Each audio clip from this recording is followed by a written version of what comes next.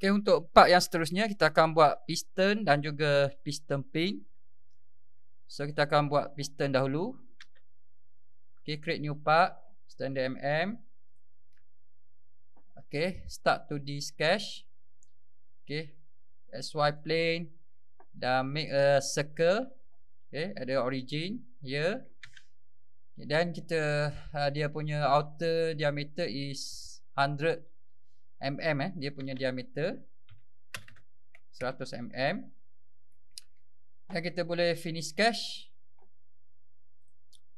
Okey kita boleh extrude kan dia. Uh, dia punya ketinggian piston ni ialah 85. Okey extrude kan dia sebanyak 80 85 mm. So, okay, so kita boleh uh, change kan dia punya home view ni. Okay, awak pusing. Uh, let's say saya nak home view dia. Okay, macam ni. Saya setkan current view as home view. Okay, fit to view. Okay, dan kita akan uh, shellkan eh, kita punya piston ni. Okey, awak boleh cari ya uh, shell kat sini. Ada shell dekat modify punya uh, panel ni, ada shell. Okey, select shell. Kemudian dia akan tanyalah. Yang pertama dia akan tanya uh, kita punya uh, dia punya jenis lah nak inside ke dia punya ketebalan daripada dalam ke dari keluar ke ataupun uh, both keluar dan dalam so kita pilih yang pada inside ni Kemudian dia akan tanya remove face. Okey, permukaan ataupun surface uh, face yang mana yang kita nak remove. Okey, kita akan removekan face yang sebelah bawah ni. So select face kat bawah ni. Okey, dan thickness dia. Dia akan tanya thickness kita. So kita tengok eh thickness kita uh, kita tengok dalam dalam drawing ni. So diameter dalam ialah uh, diameter luar ialah 100 uh, dan diameter dalam ialah 80 Okay so Untuk thickness dia uh, 80 ni Kalau 100 tolak 80 sama 20 Kemudian kita bahagi dengan 2 eh, Sebab dia akan makan kiri dan kanan ni. Kalau kita tengok sini Okay dia, Jadi thickness dia ialah 10 Okay 10 10 mm Okay Klik okay So kita boleh check lah. Betul ke kita punya diameter kat dalam ni 80 Kita boleh pergi dekat inspect ni Kita boleh check measure eh, dia punya bulatan kat dalam ni. So dia punya diameter 80 Baik. Dan kita akan buat uh, hole eh, dekat dekat uh, kita punya piston ni. Hole kita uh, Diameter dia uh, Arc 12.5 So diameter dia uh, 25 lah. Dan dia punya kedudukan dia jarak dia daripada bawah ni 35 kemudian daripada tepi ni dia center lah 50 Okay baik. So kita akan createkan sketch lah. Create to this sketch. Jadi kita akan pilih eh. Plane ni kita akan pilih dekat uh, origin ni. Okay, kalau permukaan yang uh, silinder ataupun bulat ni kita uh, tak boleh lengkung eh. Permukaan yang lengkung kita tak boleh create sketch lah. So kita kena lukis ataupun create sketch pada plane ataupun flat eh yang yang permukaan yang rata lah.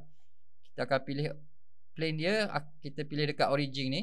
So awak boleh pilih uh, plane YZ ataupun boleh juga pilih plane XZ untuk kita tebuk lubang tu lah. Okay, buat lubang tu. So pilih YZ Dan kita akan createkan circle. Okay. Circle. Dia punya diameter 25 Okay dia punya kedudukan dia daripada uh, Titik Titik pusat ni ke daripada bawah ni ialah 35 mm. Kemudian daripada hujung ni ke titik pusat ni Ialah 50 mm.